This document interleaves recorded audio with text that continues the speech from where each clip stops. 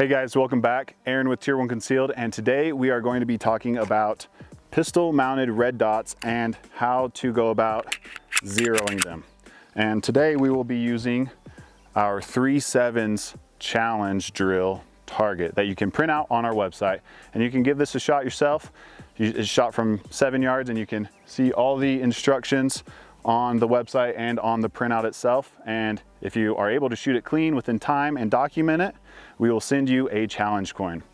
At the time of filming this video, I believe only 76 or 77 people have shot that uh, clean and been able to document it.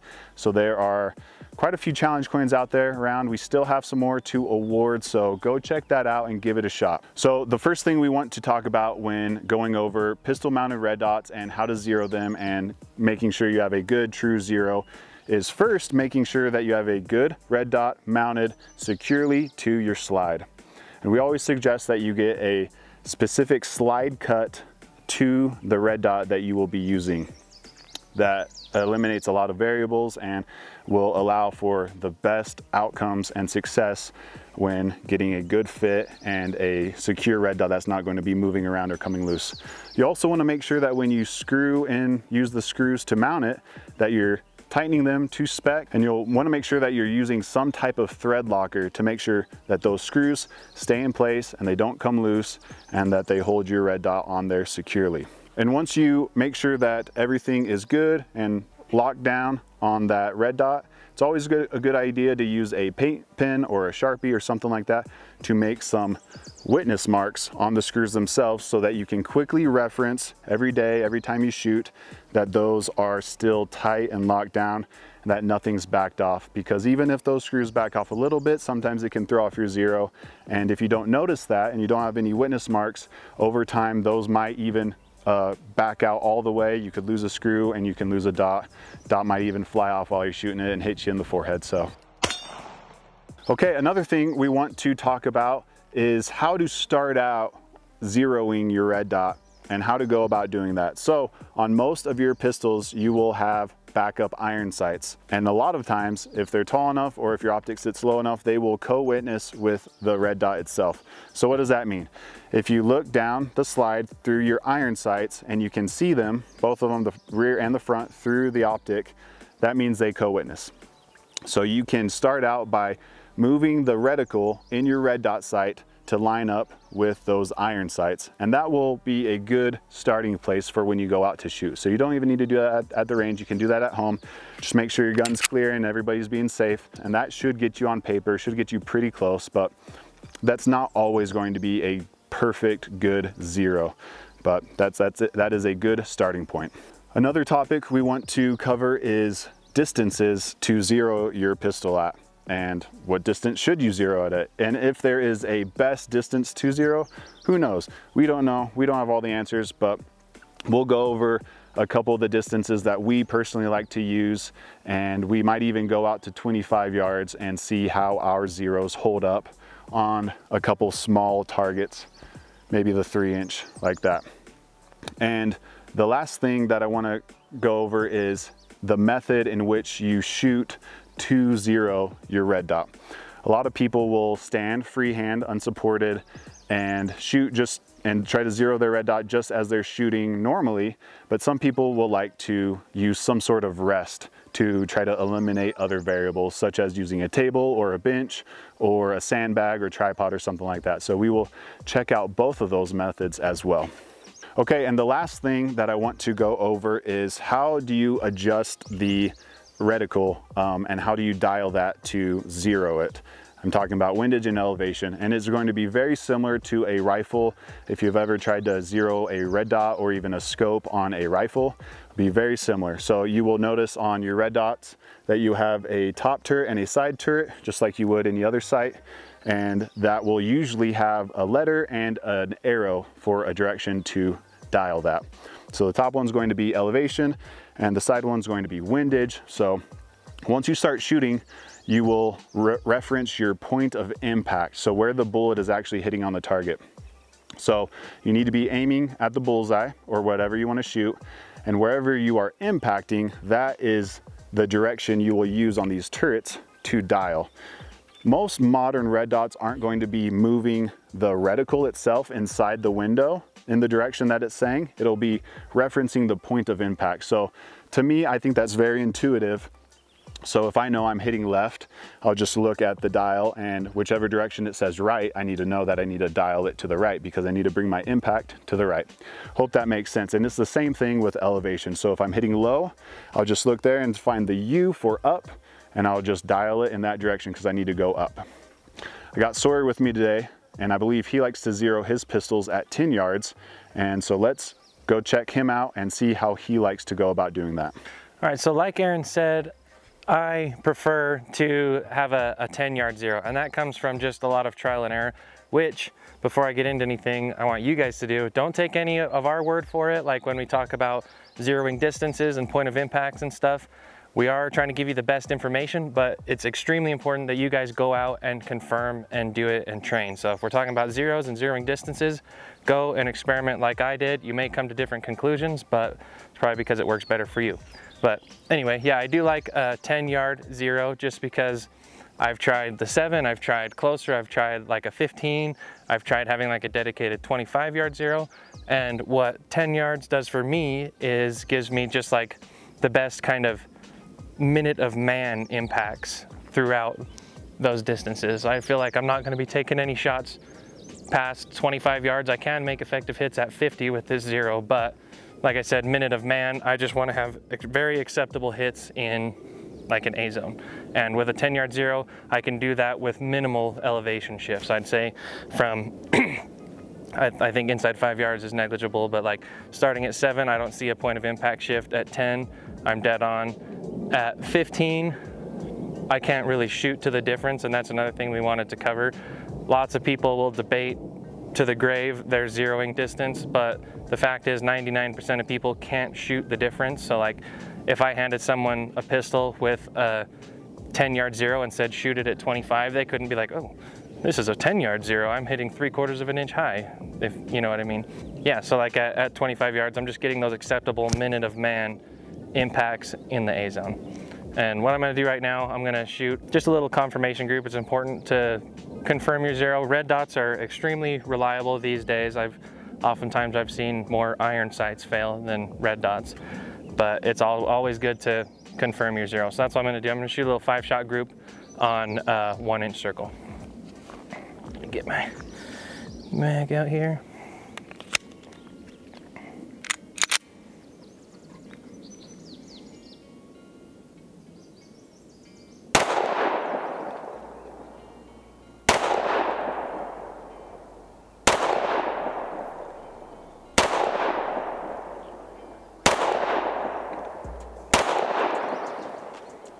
Did I shoot six again?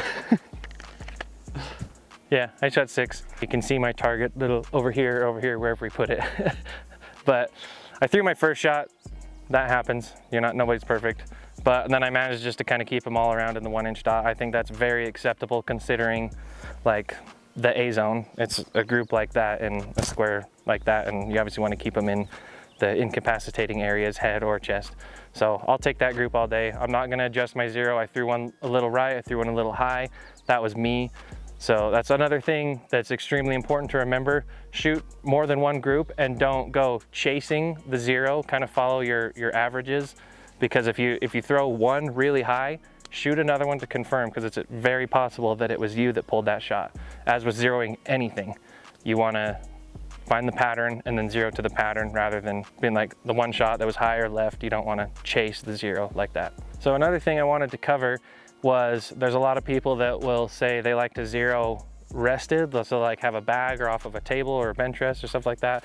And there's other people like me that want that will zero just freehand. And there's a couple reasons for that. so the main difference between the two zeroing methods for me is the musculature, that the muscles that are being employed during the shooting process. So obviously when you're, when you're resting on a bag or a bench, your arms are gonna be a little bit more relaxed. You're focusing a lot more on your trigger press and you're probably not trying to control the recoil as much and the sight picture is going to be a little bit different because you're you're kind of having to compromise your stance and stuff so basically my reasoning behind it is I want to zero how the gun is going to be employed if I have to use it so I'm just going to zero freehand how I'm going to shoot the whole time because there's, like I said, there's a lot more muscles coming into play than if it's being rested or freehand. I don't want to have anything affect my grip, my trigger control, or my trigger press, the sight picture, or the recoil control. So I'm just gonna cut that little step out. You can still get a really good zero freehand. You just have to take a little bit more time, focus on your trigger press, but I'm not negating either one. I know a lot of people who are extremely good shooters like Donovan Moore likes to shoot off of a bag when he zeros and he can shoot circles around me. So that's just my preference. But like I said before, the big thing is don't take our word for it. Go out, try it, experiment with it, and find what works best for you. Okay, so I moved up to seven yards and I'm going to confirm my zero on my pistol at seven yards. And like Sawyer mentioned, there's not gonna be a whole lot of difference between 10 and seven yards. Um, and I'm actually going to try to use this tripod and a bag to zero. I'm going to be shooting at the top target on the right one inch circle. So uh, one of the reasons I like to um, zero from seven yards is I'm not a very good shooter and I need all the advantage I can get. So um, you should be able to get a pretty tight group at seven yards. And even, even a seven yard zero, the cone of deviation out at 25, like Sawyer said, isn't going to be that big. So um, I'm going to try this out. Usually I don't uh, rest on anything. I, I, usually just shoot like Sawyer does, mostly because it's less setup and takes less time. And I'm super lazy. So, but we'll try it this time just for entertainment value. Okay, so let's see how, see how it goes. I'll do a five shot group. And just to clarify, we are shooting a cheap range practice ammo, 115 grain full metal jacket, so nothing super match grade or anything. So there's there's always going to be variables, so just keep that in mind. Maybe a little bit later, uh, I'll uh, confirm zero with uh, my duty ammo that I carry, which is Federal HST 124 grain, but we'll get to that later. So top target, um, bottom right one inch circle. And another pro tip when zeroing is dot size. I prefer a small dot, one MOA if possible, but it's, it, I mean, it's up to you. And when I, when I zero, I, I dim that dot a little bit so that it become, it's becomes smaller and there's not so much bloom, you know, on the glass there. So just helps, helps you get a little bit more precise. So here we go. And this tripod could be a little bit taller, but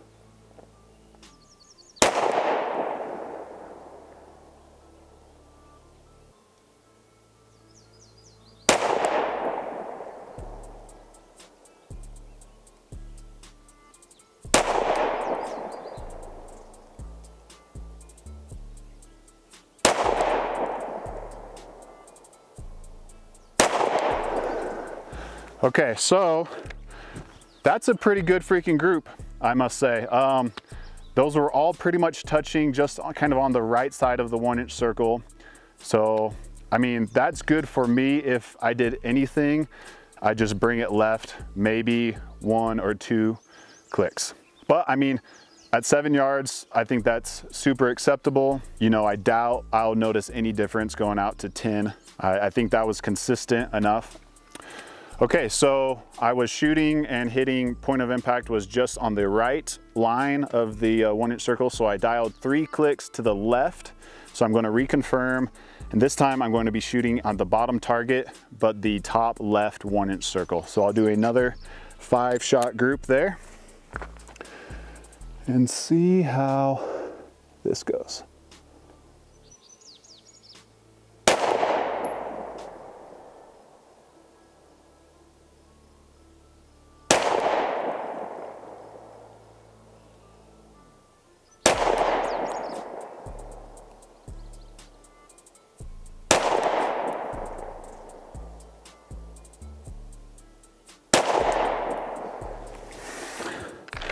Okay, so for me, I think that that did it. Three clicks was probably a good call. I had one on the right side, but I mean, they're all in the one inch circle. So that's, that's a great five shot group for me. Uh, seven yard zero is good and confirmed with this. This is a short, tiny little gun too. So I'm impressed with that. This is the uh, P365XL done up by ZevTech. So Um, and I'm shooting the uh, Holosun 507K X2 sight. So that's an awesome little sight for small pistols, just FYI. Sawyer and I, we have our zeros pretty much dialed in to where we want them. So Sawyer was at 10 yards, I was at seven. Let's head back to 25 yards and see if we can notice any, any uh, significant deviation or point of impact shift. Um, we'll be shooting at the three inch circles so maybe Sawyer will take the top target three inch circle and I'll take the bottom target three inch circle and we'll just do a, a quick five shot group. So I have all the, uh, all the, all the hits marked with a Sharpie there. So hopefully we'll be able to see those. So let's head back. Okay, came back to 25 yards. From here, that looks like a very small target. Yeah, three inch circles is small target. Hopefully no one will ever need to make a three inch shot from 25 yards with a pistol under stress because that would be pretty difficult. Mm-hmm. But all right, you send five shots to the top, top three inch circle. All right.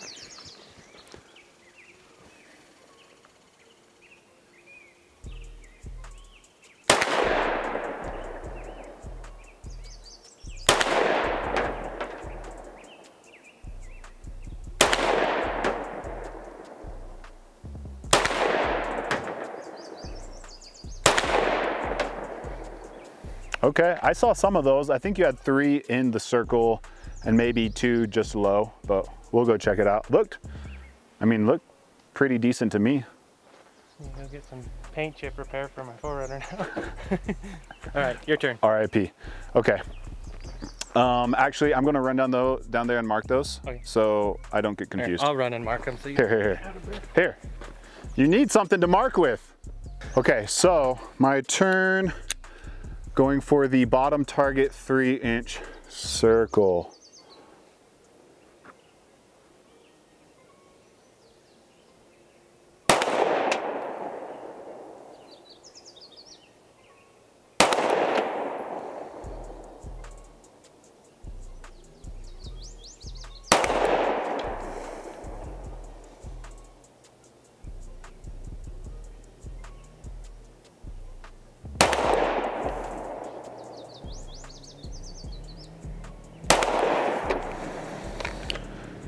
I'm gonna be honest, I have no idea where those those There's landed. one in, okay. right at about 10 o'clock.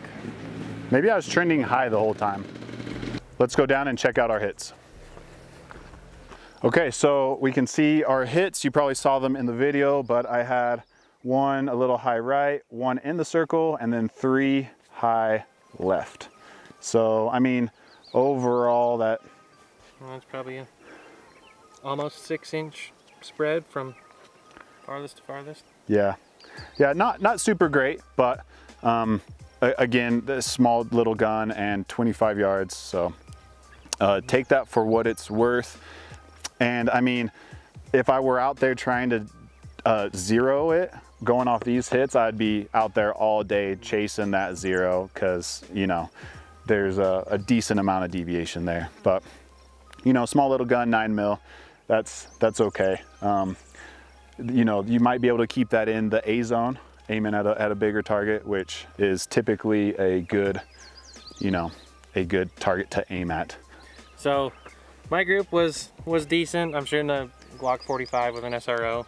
So like I said before, when I was talking about how I zero, as long as I can keep kind of that minute of man measurement, where basically if I can keep it in the A zone, for whatever distance, like if I could shoot at 100 yards and keep them all in the A zone, I think that's phenomenal.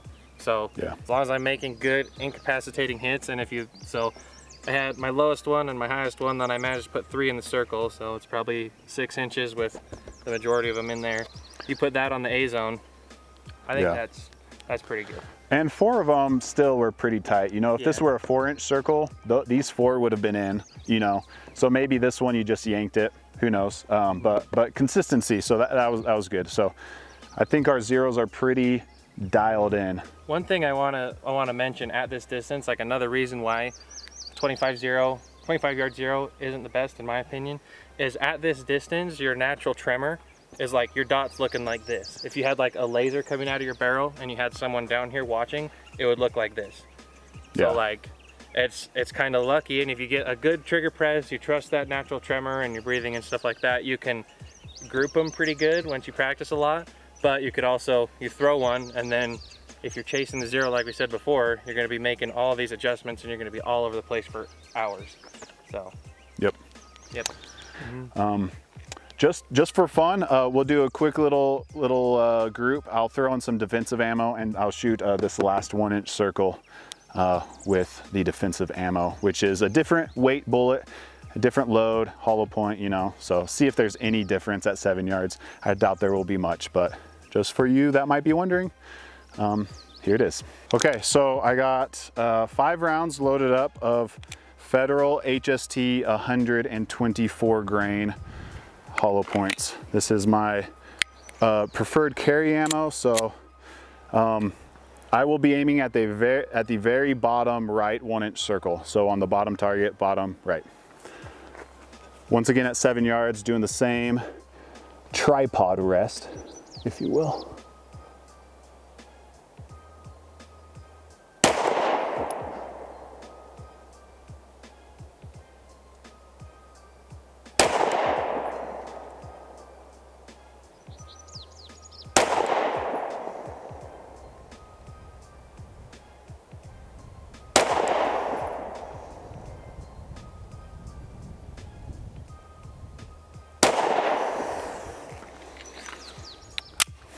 So I think I managed to keep them all in the circle there. Uh, another pretty good group. Uh, even the different uh, grain weight of the, the round and the, the load and everything. They were trending a little bit high and maybe even a little bit, uh, little bit left, but I mean, they're still in that one inch circle. So I probably shooting, you know, freehand at 25 yards wouldn't even be able to tell what I was shooting if I, you know, what round I was shooting. There's probably so little deviation there. So uh, for what it's worth, not much of a difference uh, shooting this short um, P365 XL barrel and uh, my defense ammo and range ammo. So, so there you have it. Once again, guys, we appreciate you watching. We hope you found this video helpful. We've, we've gotten a lot of requests for this video on how to uh, zero your red dot and the different distances we like to zero. Uh, typically us here at Tier 1 Concealed, it's, it's gonna be seven to 10 yards. I don't think there's a reason to go out past 10, but you do you, go try this out. And remember to make sure your optics on there good and tight. Try some of these methods out. Let us know in the comments what you want to see next, if this worked for you and if you found this helpful. Once again, like, subscribe, share this video with your friends, carry our holsters and stay strapped and we will catch you next time.